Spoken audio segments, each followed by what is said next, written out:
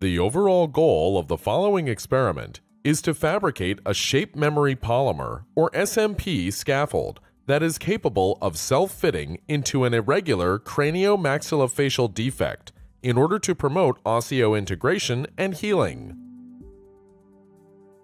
This is achieved by first forming a fused salt template. Use of solvent casting and the photochemical cure of polycaprolactone diacrylate over the salt template forms a scaffold with the highly interconnected porosity required for osteoconductivity. As a second step, the scaffold is coated with polydopamine, which provides bioactivity. Next, the scaffold is treated with warm saline, which allows it to be press-fitted into an irregular model defect.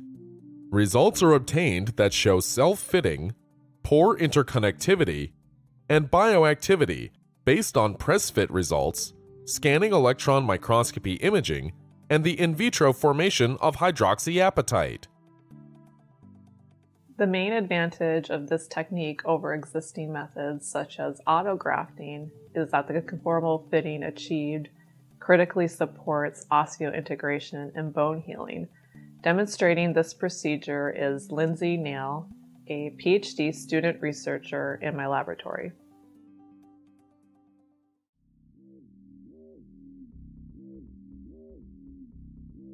To begin preparation of the scaffold, first sieve sodium chloride through a 425 micron sieve and transfer 1.8 grams of it into a 3 milliliter glass vial. In four portions, slowly add 146 milligrams of